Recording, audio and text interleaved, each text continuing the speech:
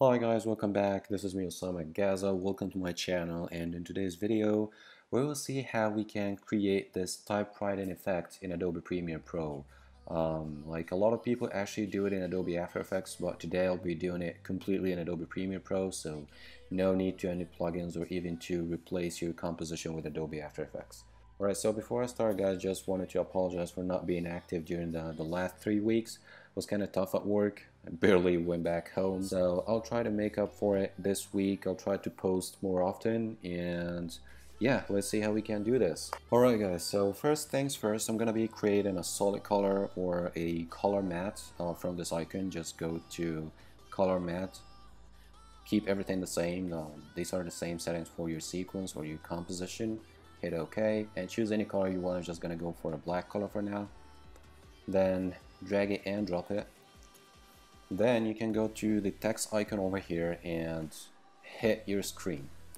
Alright, uh, now before starting, let's just adjust some settings. First of all, I'm going to be creating a keyframe without writing anything here for the source text. Alright, then go to Essential Graphics, highlight your text, then you can get your cursor back and type in your first letter. I'm just going to type hello world, so the first letter is going to be H. Right now, once you do that, you will notice a keyframe created over here, a diamond keyframe created here.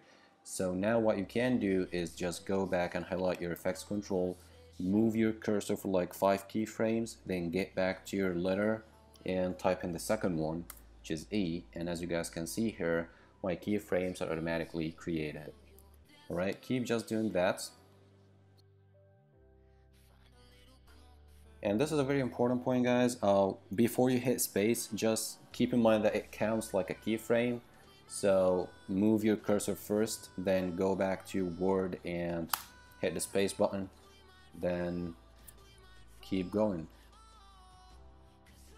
Alright guys, so now we're done. Uh, I can go and align my word to be right in the center of the screen. So I'm just gonna go down in here and align it, go back to the beginning and see what we did so far. And here it goes. Alright you guys, so that was pretty much it for today's tutorial. As you guys can see, it's pretty simple and easy and we don't need any like external plugin or anything just to accomplish this effect. Uh, hope you liked it and as I said in the beginning I'll be uploading one or two more videos this week so stay tuned for them and again if you guys have any suggestions or effects that you want me to explain, please don't hesitate to leave a comment down below and I'll be going through them again. Thank you so much guys for watching and see you next time.